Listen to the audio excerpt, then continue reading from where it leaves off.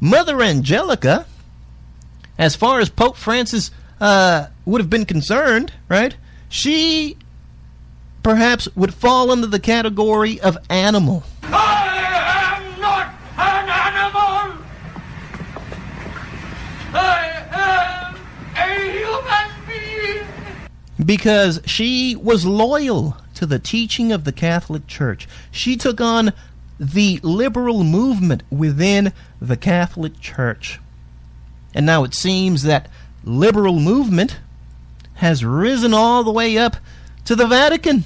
Sits on the chair of Peter, it seems like to me.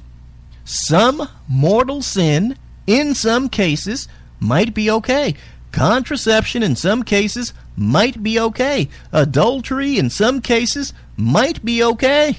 I would have loved, I would have loved for Mother Angelica to be around and be healthy in this particular time in the history of the Catholic Church.